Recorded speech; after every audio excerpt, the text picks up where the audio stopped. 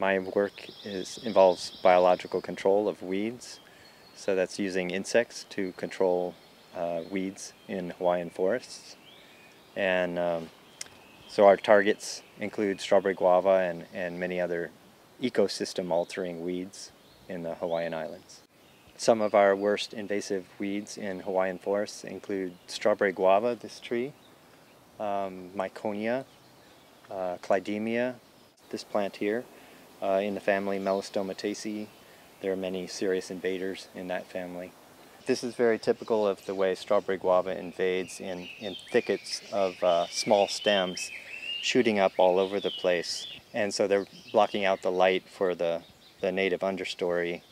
And so we get very little native uh, regrowth of native plants in the understory. It's just all strawberry guava. The stems are, are, are slender and they fall over and they'll take root in the ground and, and send up new shoots. So you, you develop a very thick uh, tangle of, of stems over time. And essentially it becomes impenetrable. So our intent with the biocontrol is essentially to restore the balance uh, to the system with a natural enemy for strawberry guava. Here in Hawaii it has no natural enemies. So bringing in that specialized agent uh, will help limit the invasiveness of strawberry guava. Some invasive species uh, are valued um, in uh, Hawaii and elsewhere. For example, uh, plants like strawberry guava uh, create fruit that some people eat. Um, so there's concern that the biocontrol might wipe out strawberry guava and, and eliminate that fruit source. But we've actually, the biocontrol that we've developed for, bio, for biocontrol of strawberry guava is uh, not going to kill these trees. It's just going to limit their fruiting uh, limit their growth, their ability to spread into the native forest.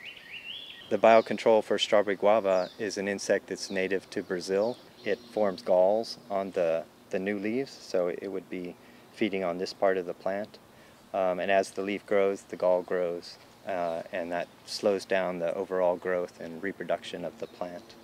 In Brazil, you don't see strawberry guava being invasive. It's very limited in distribution. Um, it still produces fruit there, and the, the, some people enjoy the fruit, but um, it remains a uh, harmless native plant in its native range. Our work involves is, is developing the biocontrol agents. Um, so that means doing the research to demonstrate the specificity and the impact that they have on the plant. And then we turn over that information to the state uh, and the regulatory agencies who evaluate whether the biocontrol is suitable for introduction. And, uh, and if they decide that it is okay to release it in the state, then we help them with that process and uh, do the follow-up monitoring, which is really critical to understand whether the biocontrol is, is having the effect that we intend. We're not in every case going to solve the problem. Uh, a weed like strawberry guava is going to persist in the areas that it's already invaded, so it's going to take other management approaches combined with biocontrol to solve the problem. So for example, in a thicket of the forest like this, these trees will not be killed by the biocontrol, uh, but their growth will be slowed and if uh, resource managers do come in and, and cut these trees, then their, their ability to respond and regrow will be limited by the biocontrol.